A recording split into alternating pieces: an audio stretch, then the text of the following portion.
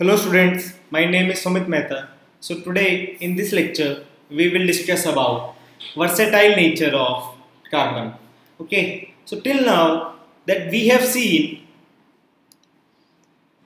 we have seen that the formation of covalent bonds okay like the single bond the double bond and the triple bond of different atoms like uh, hydrogen form a single bond oxygen formed a double bond and nitrogen atom generally form triple bond.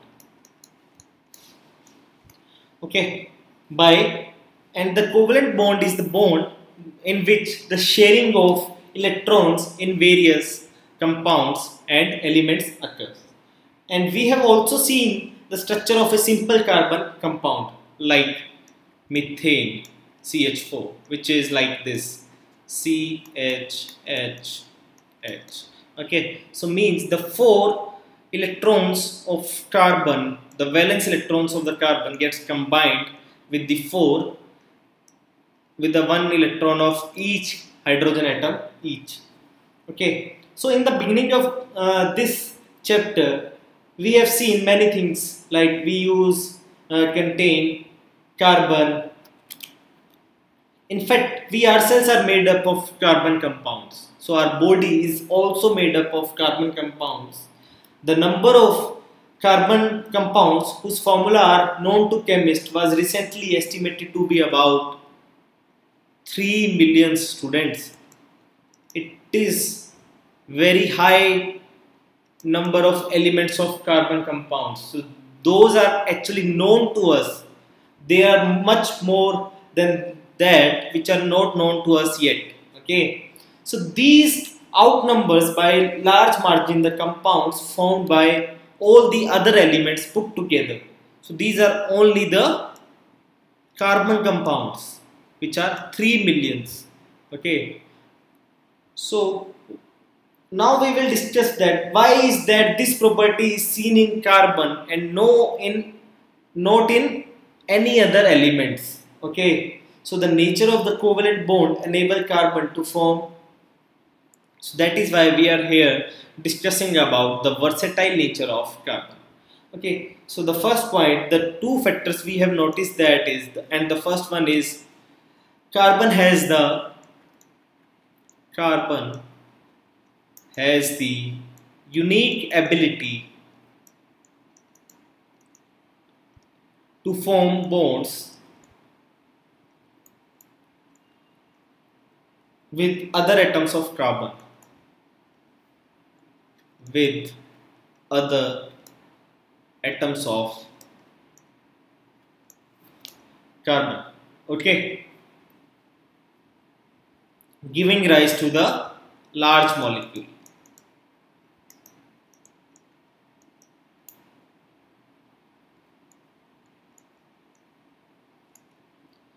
and this property of carbon is called as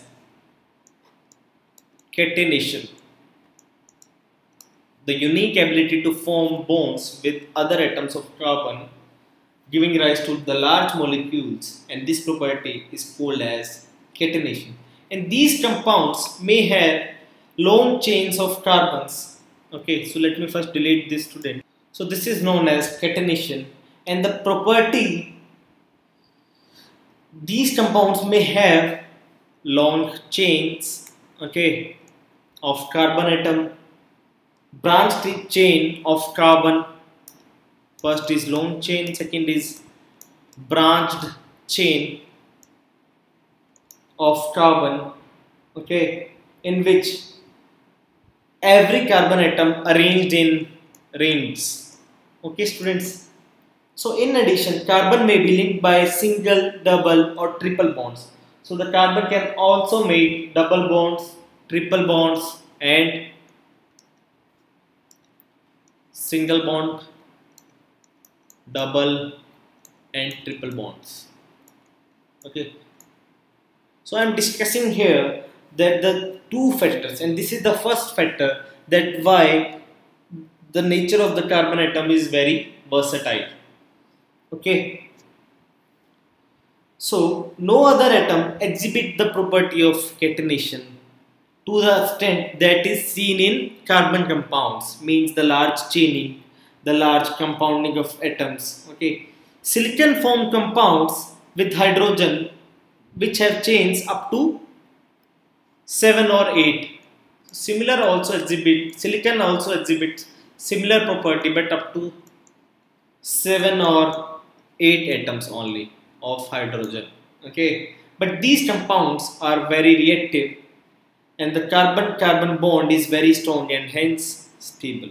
The bond between the two carbon atoms is very strong and hence it is very suitable and the second factor now we will discuss about the second factor that carbon has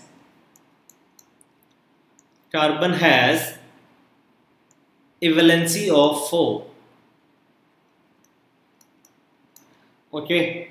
So it is capable of bonding with four other atoms of carbon or atoms of some monovalent elements like CH4 or it can be also uh, CCC like this also. So this is C3 this is C5HO so I uh, I'm just giving you the example of this formula. Means it can form the compounds with carbons also and hydrogen or double bond with oxygen also. So I'm just giving you the example students. So that is why the nature of carbon atom is very versatile. So I hope that uh, now you are pretty clear about why carbon is so versatile in nature. Okay? So if you have still any doubt or any question based on this then please do comment in the comment section student. I will be happy to help you guys there. Thank you. Happy learning